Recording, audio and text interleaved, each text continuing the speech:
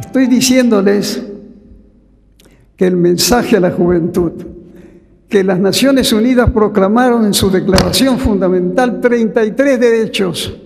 pero se olvidaron de uno. Ese derecho que hoy reclamo a las Naciones Unidas es el derecho a la esperanza, el derecho a tener fe en la labor y a los jóvenes presentes y ausentes, les digo que nada ni nadie puede arrebatarles el derecho a la esperanza, a tener fe en ellos mismos, a tener que construir un país